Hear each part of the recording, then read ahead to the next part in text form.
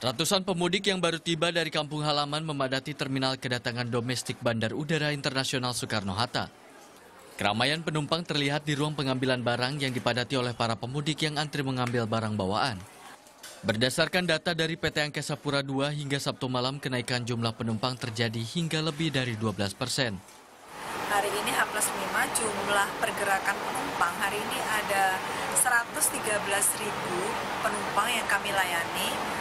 Untuk jumlah pergerakan pesawatnya adalah sekitar 760-an pesawat. Dan jumlah extra flight sampai malam hari ini ada 42 extra flight.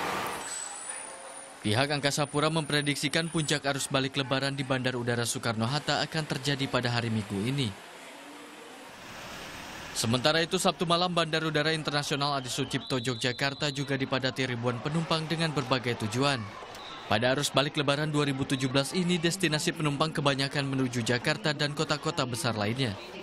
Hingga lima hari setelah lebaran, PT Angkasa Pura I Bandar Udara Internasional Adi Sucipto Yogyakarta mencatat sebanyak 25.956 penumpang datang dan pergi melalui bandara ini.